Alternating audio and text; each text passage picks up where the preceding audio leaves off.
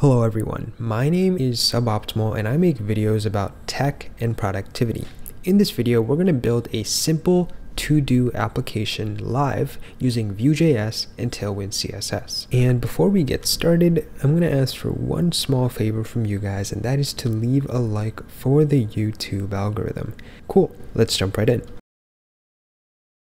I set up this project using the generic Vue CLI that you can just use to create projects. And I set it up with some linting. I use the Airbnb linting styles. If I save in a format that is not properly linted, then it'll auto format the code for me. So that's what's happening here. Um, once you have your project set up with Vue and whatever CSS library that you like, you can just cd into that project and just run npm run serve. If you go to localhost 8080, you should see something like this. And this is the starter template for our project. I just had to configure it like this so I don't take you guys along with the ride of setting up linting and all that other extra jazz that's largely irrelevant to creating a to-do application.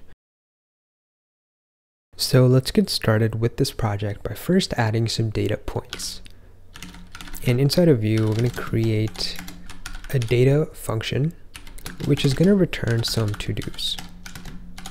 We're going to have an array of to-dos. And inside of here, we're going to have an ID for each to-do. And that's just going to be a math.random ID. And we're also going to have a data point. So each to-do is going to have the, let's call it text just because it's a little bit more clear. So each to-do is going to have some ID and it's going to have some text. And let's just keep it simple and just do hello. Okay, so we have two to-dos. Both of them say hello. Let's change this to hello world just so we can see it in action. Let's create a div and iterate through the to-dos and display them. And when we're iterating through them, we're going to need to use a v-for to do in to-dos. So this to-dos is a reference to this to-dos array. And we're also going to need to pass in a key. So do a v-bind and we're going to have to set it to key and to do.id. So all this is doing is because we're going to have multiple divs uh, that are displayed, we want to set a key for each of them. Now you actually don't need to do this, I believe, but I have a linter and the linter doesn't compile the code if I don't do this. So that's why I'm adding this vbind functionality here. And quite simply, we can just do to do dot text. This should iterate through our to-dos and display hello and world. And so now we have hello and world. Now let's add the functionality to remove a specific to do. We want to be able to delete each to do. And to do that, we're going to need a button. And this button is just going to be a simple X. So it's kind of clear to understand what's going on. And when we press this button, so on click, we want to remove the to do. How do we know which to-do we're removing? We're going to need to pass in the ID of the to-do. If we have the ID of the to-do, we can just filter out the to-dos inside of our function. And in Vue, you're going to need to create a methods uh, object like this and create your function there because that's just how uh, Vue keeps track of these methods. Uh, remove to do takes in the to do ID. And once we have our ID, all we have to say is this dot to-dos. And again, this dot to-dos is a reference to the to-dos that we have inside of our data object uh, data function. And we're just gonna have to filter them. So this dot to-dos dot filter, as long as the ID of the to-do is not equal to the to-do ID.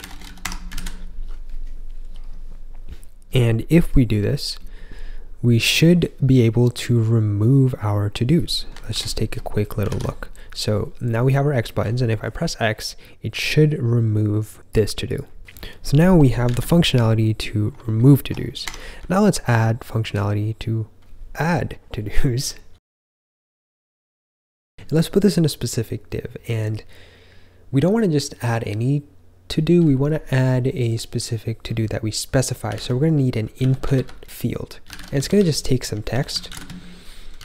And we're going to have to set it up with this uh, V model. Whenever we type something inside of this input field, it's going to bind that information to a to do. Right now, to do doesn't exist, so let's add that. And let's just say that to do is of empty string at first. And let's add a placeholder here. And the placeholder is just going to say add to do. This is just going to display an input field where you can write a to do. And when you write anything into it, it's going to bind it to this uh, to do data point. But we still want to add it, right? We don't have any functionality to add it. So actually, let's call it a button. And this button is just going to be called add. When we click the button, we want to add the to do. So now let's actually define this function inside of our methods. So here we can do add to do. We're going to need to first check if this uh, to do data point is empty because if it's empty we don't do anything so if to this dot to do dot length is equal to zero, we can just return because we don't want to add empty points into our to-do list. Otherwise, otherwise we can add it to our to-do list and we can do that like this. So we just do this dot to do's dot push and take in an object. We need to pass in the ID, which again is just going to be a math.random number. And here the text of this to do will be the to do that we mapped inside of our input field. So if we save that, oh, something is wrong. What is wrong? I can't tell. Remove oh I see. So there was expecting a comma. Yeah.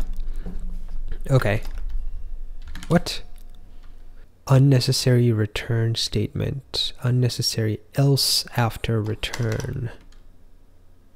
Oh I see.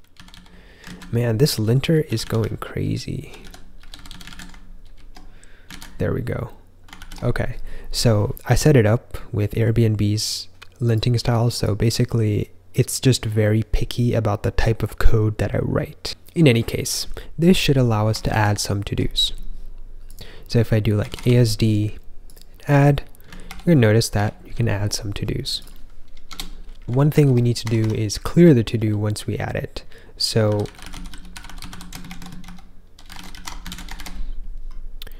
So if I do ASD and I press add, we want to clear this input field. So that's what we're doing here.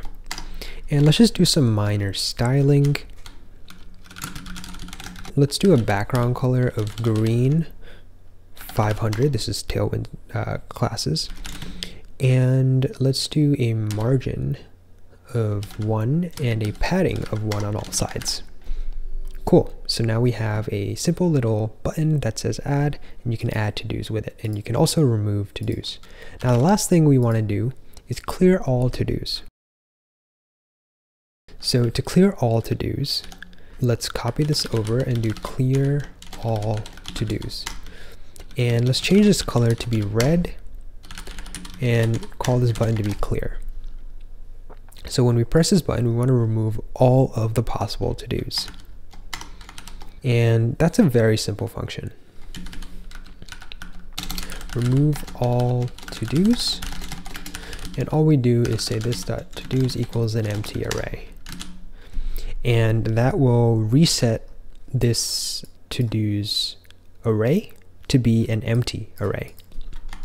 And so if we refresh and clear the to-dos, something is not working.